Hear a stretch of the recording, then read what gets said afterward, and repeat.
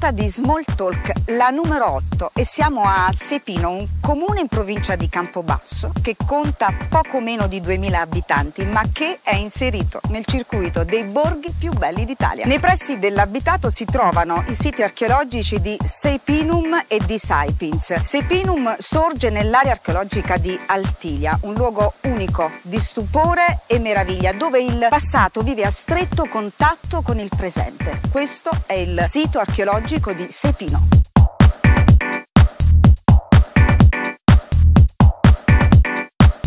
Attraverso Porta Boiano, uno dei quattro ingressi, entriamo nella città romana di Sepinum, che nasce alle pendici del Matese, massiccio che definisce il territorio tagliato dal tratturo Pescassero di Candela. Tra i boschi montani sono nascosti l'insediamento sannitico di Terra Vecchia e il santuario italico di San Pietro dei Cantoni. A valle invece tutto il municipio imperiale, gli edifici pubblici e di culto, il teatro, le terme, il foro, le domus. Ma per comprendere pienamente lo spirito del territorio bisogna guardare alla Sepino di oggi che nasce in epoca medievale quando la popolazione decise di costruire in posti più alti. Il popolo di Sepino è legato al culto di Santa Cristina, patrona del comune che lega ancora oggi più che mai tutti i sepinesi sparsi nel mondo. Il nuovo viaggio di Small Talk nel Borghi del Molise è realizzato in collaborazione con Metamer. Grazie a Daphne Iamartino che ha aperto la puntata facendo girare la sua Dodge Challenger SXT. Gli ospiti di oggi saranno la scrittrice Fatima Fraraccio, lo sceneggiatore di Vita da Carlo in onda su Prime Luca Mastrogiovanni, David Kirk Traylor, meglio conosciuto come Mr. Zed, il robot degli anni Ottanta. Danzerà nel borgo Alisia Ialici Chicco. Il DJ ospite sarà CKK. Interverranno il beatboxer Ludovico Serra, i chitarristi Paolo Mignogna e Gianpalerio Arcari, lo skater Luigi Petti e linea ora al primo salotto.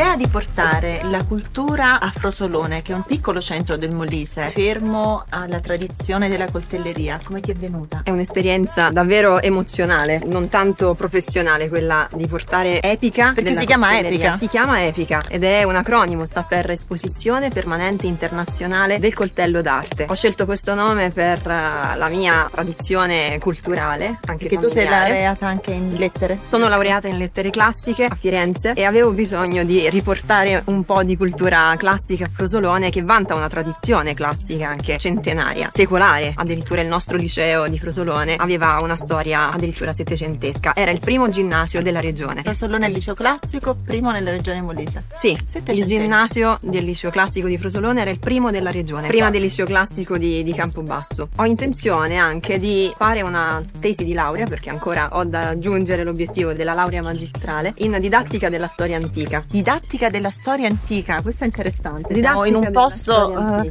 esatto, dire, in, tra le rovine di Altilia. E come può centrare Altilia in questo discorso? Ho intenzione di proporre alla regione Molise un progetto di riapertura del nostro liceo classico di Frosolone ad indirizzo archeologico, quindi per la rivalorizzazione di tutte le aree archeologiche di cui il Molise è ricchissimo. Insegnare la classicità alle nuove generazioni. Sì, in una fusione quanto più armonica possibile con la tradizione del nostro paese, che è quello delle armi. E sono armi che hanno un collegamento diretto con la Venezia dei tempi antichissimi e che da armi bianche, da armi di altissima qualità, sono diventate armi artigianali. Quali sono gli avventori del tuo centro culturale? Sei riuscita a coinvolgere i giovani? Riesci a coinvolgere tutta la popolazione o comunque c'è ancora, è giovane, no? Il centro ha due anni. Sì, ha due Quindi... anni di vita. Il mio pubblico ideale è quello di media età. Molti giovanissimi sono venuti a Epica per eh, esporre le proprie tesi di laurea perché è nata proprio in questo modo Epica, con un ciclo di incontri seminariali su tesi di laurea. La casa editrice che abbiamo fondato, che si chiama Teseide, mira proprio a questo, alla pubblicazione di tesi di laurea, quindi per i neolaureati, non soltanto, ma anche per i laureati della vecchia generazione e così a ritroso fino alle tesi di laurea dei grandi poeti, dei grandi scrittori, piuttosto che concentrarci invece sulla pubblicazione di poesie dei grandi autori,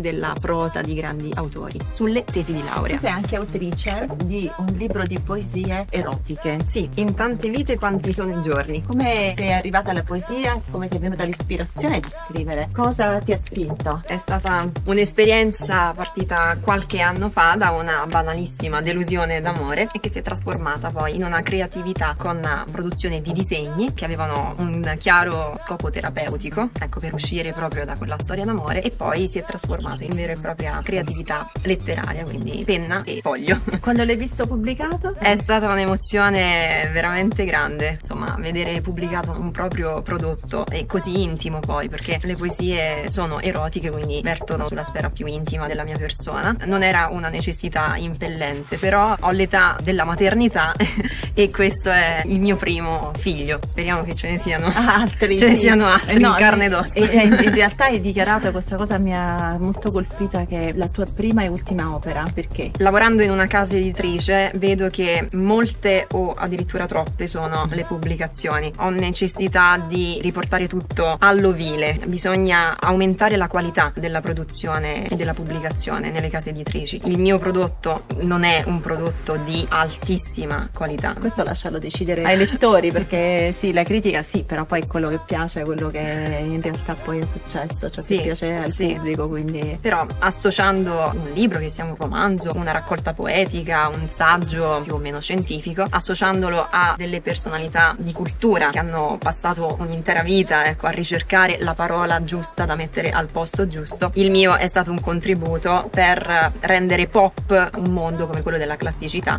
che è non soltanto di nicchia ma è al canto del cigno. Interessantissimo questo tuo approccio che media l'antico con il nuovo e questa tua giovane età nella quale però hai già realizzato mille progetti, il centro culturale, il libro, adesso la casa editrice. Qual è il tuo prossimo progetto? Di creare una casa editrice tutta mia, appunto Teseide, e continuare a dirigere qualità di direttrice artistica modestissima, insomma, nel mio centro culturale Epica Villa Artemide a Frosolone. Era il primo salotto di questa puntata e negli scavi di Altilia Gilda Antonelli ha dialogato con la giovane scrittrice molisana Fatima Fraraccio. Ora però ci spostiamo al centro del paese con eh, il parroco Don Antonio Arienzale andremo alla scoperta della chiesa dedicata a Santa Cristina, a quella della cripta, del museo, del campanile e della cappella Carafa.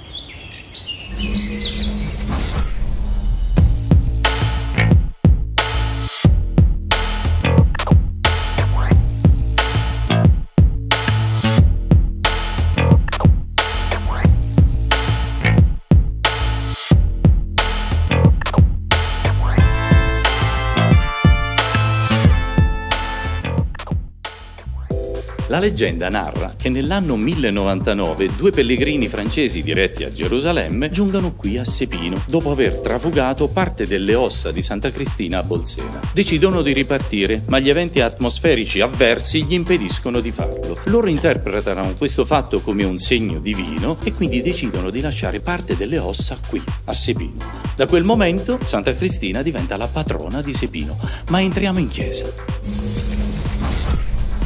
A Sepino la patrona è Santa Cristina da oltre nove secoli. E adesso ci troviamo in questa cappella costruita da Francesco Carafa nel 1609 e custodisce un tesoro. Tant'è vero che noi la chiamiamo la cappella del tesoro. Il tesoro che custodisce è la reliquia di Santa Cristina che alcuni pellegrini hanno portato qui nel lontano 1099. Perché Santa Cristina non è originaria di Sepino. Lei è stata martirizzata all'inizio del IV secolo sotto sotto la persecuzione di Diocleziano a Borsena. A Sepino però la devozione è venuta dal 1099 appunto e poi si è diffusa lungo i secoli e anche adesso è molto, molto radicata, molto sentita. Sia i sepinesi che abitano qui attualmente a Sepino, sia quelli che stanno nei paesi vicini e anche con i nostri immigrati. E perciò questo è il luogo più sacro per i nostri sepinesi che custodisce la reliquia della sua santa patrona. Grazie a Don Antonio, parroco di Sepino. Ed ora dalla chiesa di Santa Cristina ci spostiamo sul greto del torrente Tappone, un affluente del fiume Tammaro. Ospite il beatboxer Effetto. Sulle sue improvvisazioni danzerà Alisia Ialicicco di Anam Compagnia di Danza.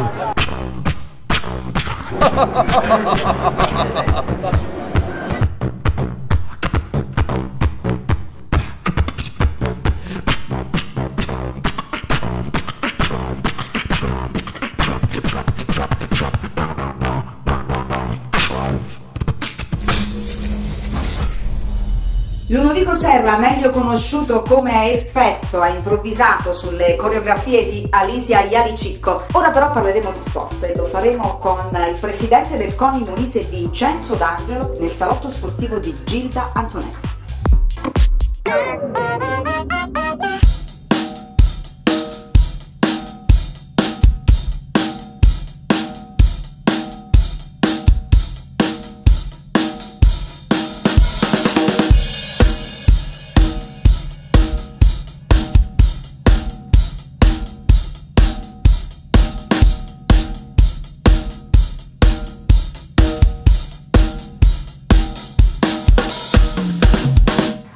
Vincenzo, dalla pallamano a direttore del CONI, la pallamano esiste come sport anche di terra, non solo d'acqua? Allora, lo sport d'acqua è la pallanuoto, la pallamano è lo sport di terra, nel senso si fa in un campo che ha le misure di un campo di calcio a 5, un 40-20, 7 persone che giocano, 6 più un portiere, c'è parecchio contatto, quindi è uno sport molto fisico, quasi come la pallanuoto, ha regole simili alla pallanuoto. Simili al rugby? reg- è una via di mezzo tra il calcetto e la pallanuoto perché si deve fare gol, quindi comunque si deve tirare in porta con le mani, si gioca soltanto con le mani. Il portiere invece può usare tutto, tutto il corpo. Eh, scusa, ma i ragazzini di solito vogliono giocare a calcio, tu come sei arrivato alla pallamano? Il calcio non è mai stato il mio sport preferito. Io vengo dal tennis, ho iniziato a sette anni a giocare a tennis, poi ho fatto nuoto, poi alle scuole medie ho fatto un po' tutti quanti gli sport che si fanno normalmente a quell'età, ho continuato col tennis, negli anni 80 ho scoperto la pallamano e ho iniziato a giocare a pallamano. Che non è uno sport, diciamo, tra i più conosciuti. No, no, infatti devo dire che a quell'epoca al tennis, soprattutto che era un ambiente un po' particolare, venivo preso in giro da tutti perché era uno sport eh, secondo loro per donne, invece ah, è uno sport molto contatto, fisico, infatti. assolutamente. E questo passaggio, diciamo adesso sei presidente del CONI del Molise, in un momento in cui è cambiato lo scenario anche dello sport nazionale. Spiegaci come è venuto, che cosa è successo. È entrato nello sport la politica, in sostanza quello che è successo, nel senso che prima il CONI gestiva tutta quanta l'attività sportiva italiana, c'era la CONI Servizi che era una società in house del CONI che serviva appunto per gestire tutta quanta la parte organizzativa, dipendenti, acquisti e tutto il resto. Anche Dal, finanziamento alle, finanziamenti alle, alle federazioni, alle federazioni. Esatto, esatto, tutto quanto passava tramite loro, però era sempre il ministero a decidere come dare i soldi alle varie federazioni, agli enti di promozione. Quindi da lì nel 2018 hanno deciso di fare questa riforma dello sport che non è piaciuta a nessuno, hanno deciso di interrompere il CONI Servizi e di creare una nuova società che si chiama Sport e Salute. Attualmente è la società in-house del Dipartimento dello Sport, quindi sono passati da una società che collaborava col CONI a una società che collabora direttamente con il Dipartimento dello Sport. Col Ministero. Quindi. Con il Ministero. Quindi questa cosa adesso ha creato uno sdoppiamento dello sport. Avete due società diverse. Due, noi siamo un ente pubblico, loro sono una società per azioni, loro sono il braccio operativo del Ministero, loro gestiscono i soldi perché poi alla fine fanno soltanto da passamano, nel senso che comunque è sempre il Dipartimento che decide a chi e come dare i finanziamenti. Quindi le federazioni allora, adesso si trovano ad avere due soggetti. Se prima lo sport costava 400 milioni, adesso ne costa 800 perché ognuno ha le proprie spese, spese di gestione. Quindi, quindi un momento diciamo difficile nel quale entrare nello sport, però è anche vero che lo sport per noi, soprattutto per gli anziani,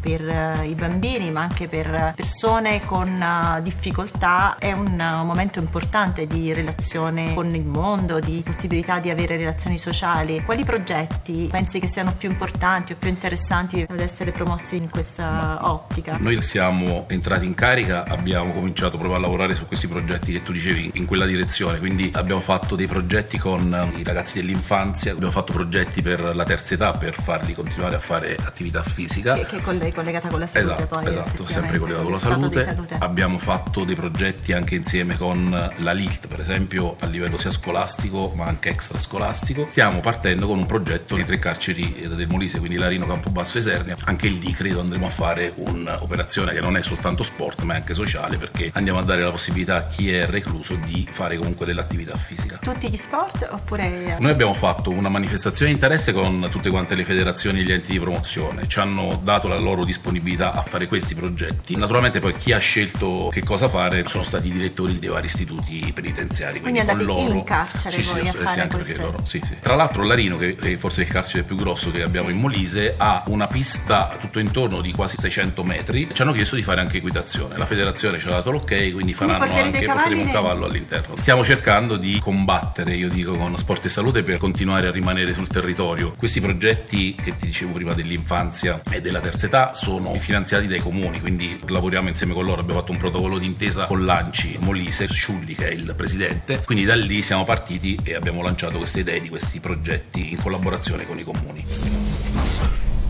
Grazie al presidente del CONI Molise, Vincenzo D'Angelo, che ha dialogato nel centro storico con Gilda Antonelli. Ed ora spazio all'unico DJ set di questa puntata. In console il DJ CKK e con lui le evoluzioni dello skater Luigi Petti.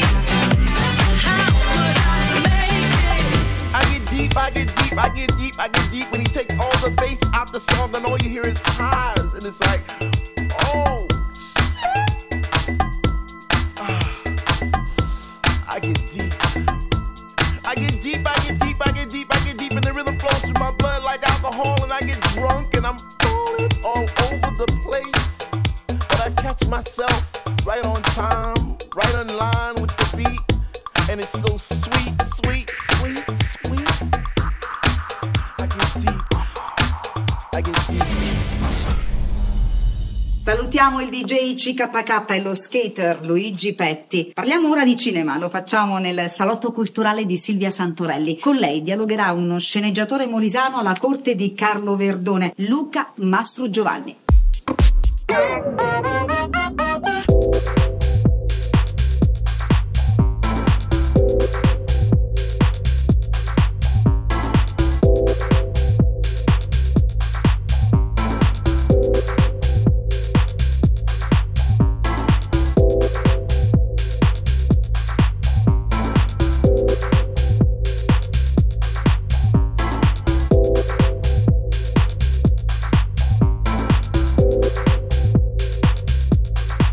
Luca Mastro Giovanni, benvenuto a Small Talk. Ciao Silvia, grazie dell'invito. Sei tornato in Molise per questa occasione? Sì. Sappiamo che sei in giro per l'Italia. Anche per la tua formazione tu non sei stato qui, ma hai scelto di arrivare al cinema. Come si arriva al cinema con la scrittura? Ma guarda, io ho vissuto per eh, sette anni a Bologna, ho studiato lettere moderne, poi mi sono trovato talmente tanto bene a Bologna che sono rimasto. Successivamente mi sono spostato a Roma perché il cinema è a Roma, i broadcaster sono a Roma, i produttori sono a Roma e anche comunque i colleghi, i registi, sceneggiatori, gli attori. Quindi per forza di cose ho lasciato Bologna da circa tre anni, sono a Roma. Per arrivare a fare cinema cosa bisogna fare? Ci sono tante strade. Una delle strade probabilmente la più semplice ma anche molto tortuosa è fare il centro sperimentale di cinematografia dove però ogni anno entrano soltanto sei E sceneggiatori. tu sei uno di questi?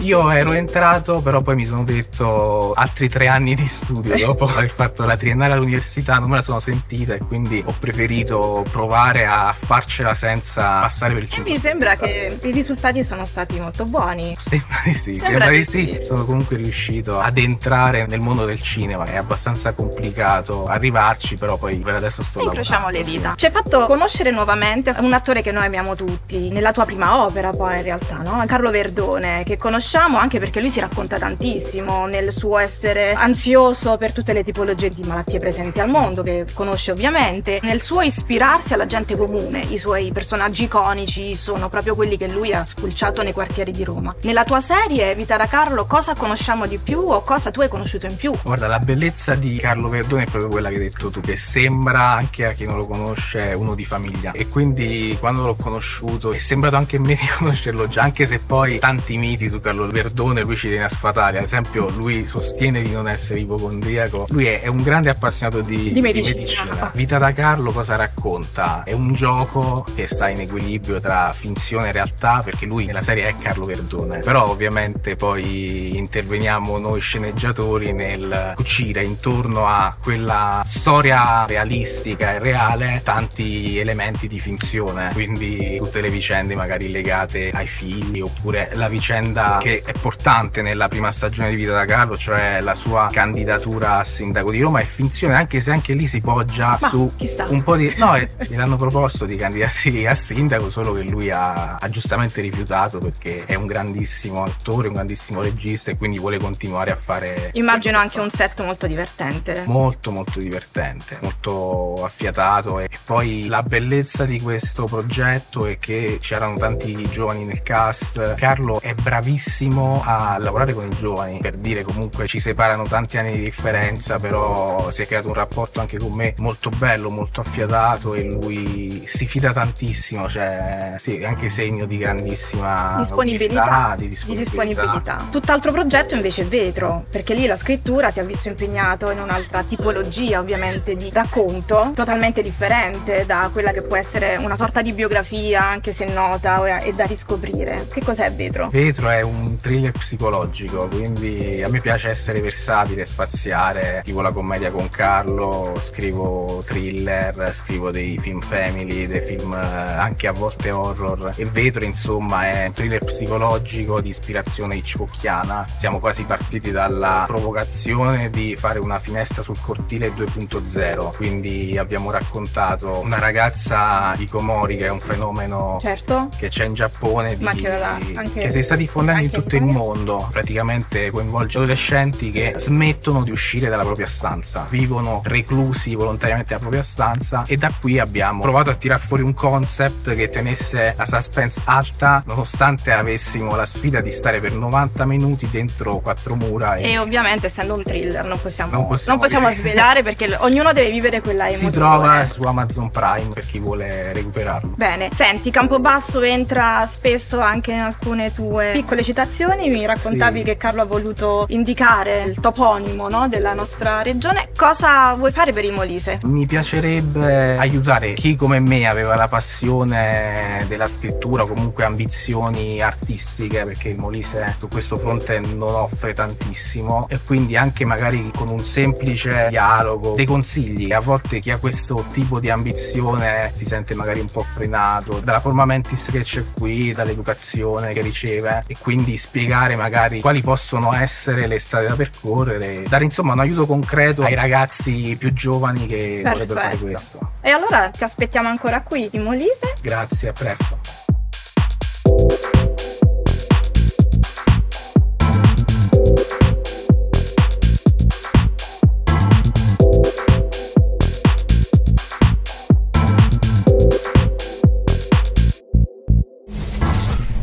Grazie allo sceneggiatore Luca Mastrogiovanni. Ed ora torniamo alla musica nel borgo. Alisia Ialicicco danzerà una nuova coreografia sulle note delle due chitarre acustiche di Gianpalerio Arcari e Paolo Mignogna.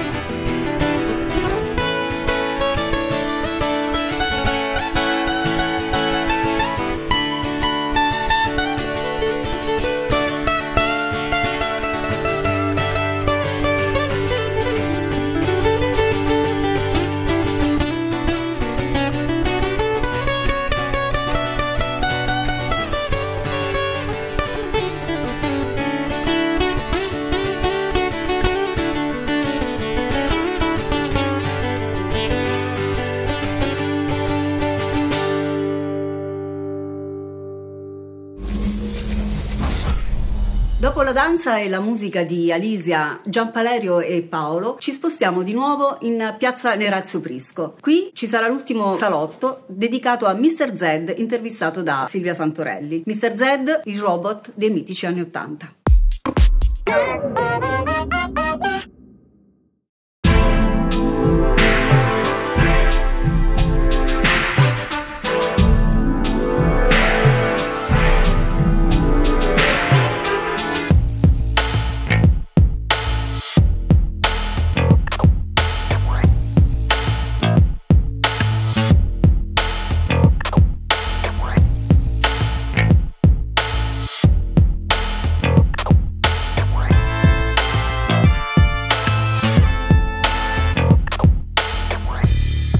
David, Diga. Benvenuto. Silvia. Oh, grazie. Ben infinite. Sono molto felice di averti qui, di avere te, ma soprattutto di avere Mr. Z.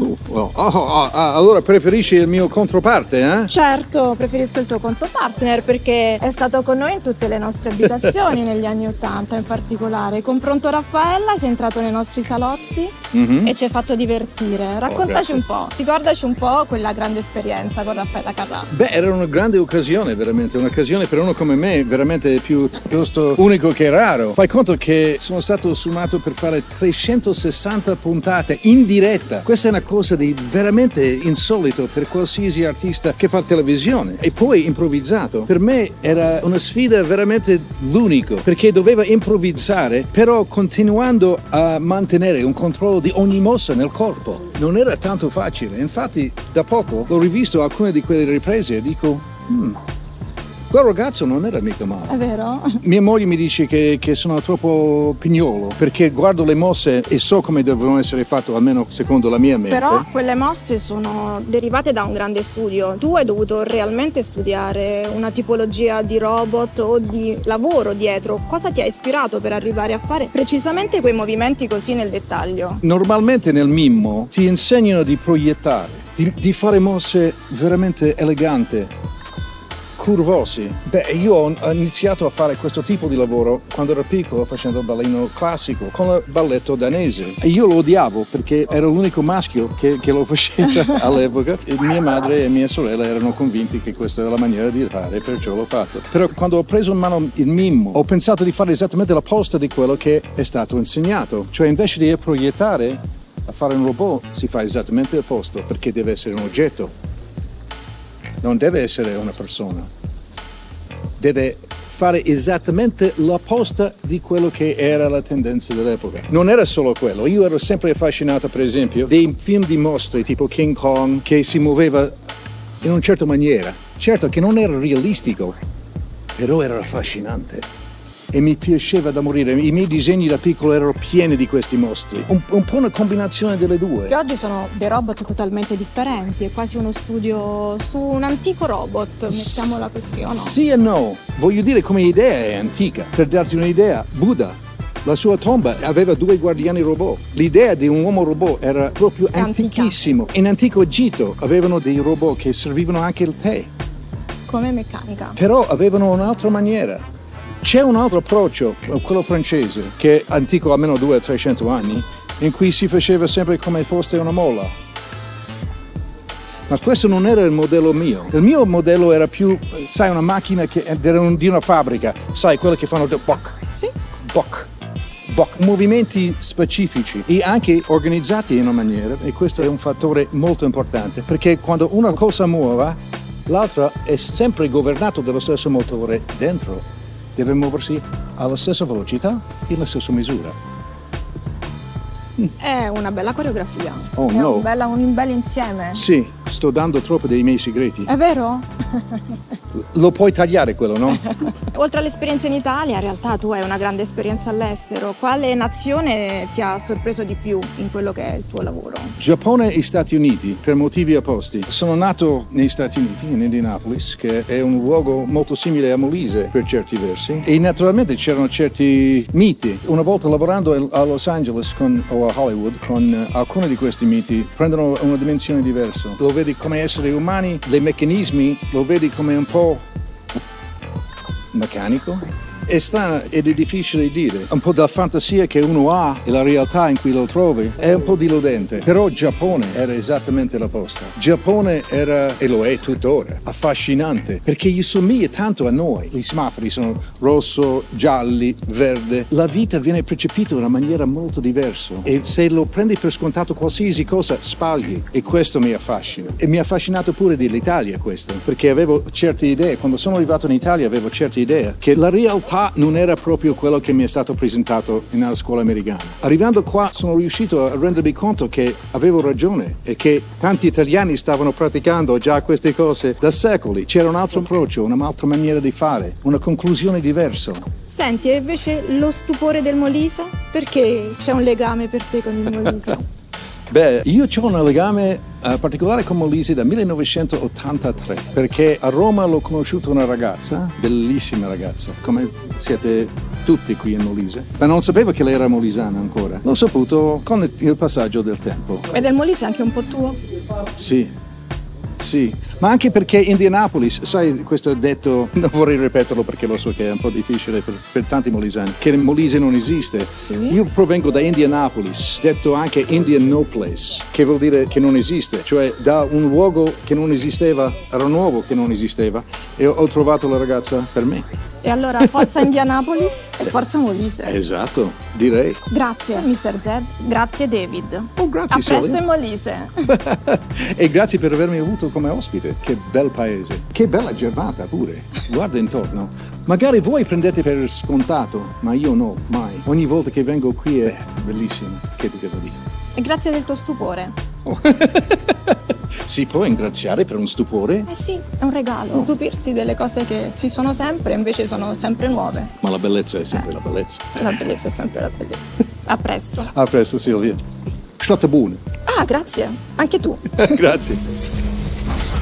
Lo sponsor Metamer, regia e produzione di Small Talk ringraziano il Ministero della Cultura, Parco Archeologico di Sepino per aver permesso alla troupe di girare alcune parti di questa puntata d'Altilia. L'amministrazione comunale di Sepino nella veste del sindaco Paolo Danello, la Polizia Municipale, la stazione dei Carabinieri, Pasquale Giordano dell'Associazione Culturale Sepino nel Cuore, la popolazione per aver agevolato le riprese di questa puntata e il parroco di Santa Cristina che ha seguito la troupe nella visita alla chiesa dedicata alla Santa Patrona, al museo, alla cripta, fin su al campanile.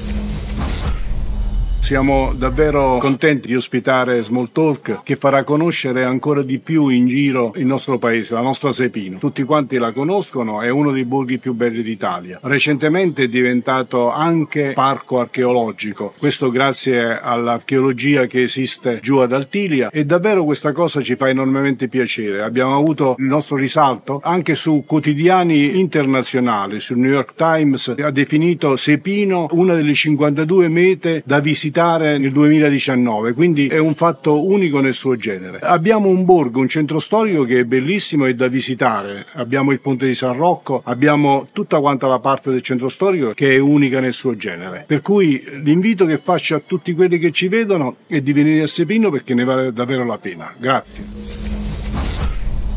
L'Associazione Culturale Calliope, Big Box Edizioni e Jackie Brown Events ringraziano Daphne Iamartino per aver fatto girare la sua Dodge Challenger nel borgo di Sepino. Manuela Venditti di 24 Shop per aver vestito le speaker di questa puntata. Gli amici che hanno contribuito con le loro performance, Ludovico Serra, Paolo Mignogna, Giampalerio Arcari e Luigi Petti. Alessandro Monaco e il suo fantastico taxi Blue Royal. Grazie agli amici del Circolo Culturale Il Buco e al suo presidente Mario Ruotolo. Small Talk è su Facebook, Instagram e YouTube. Per ora è tutto. Appuntamento alla prossima puntata.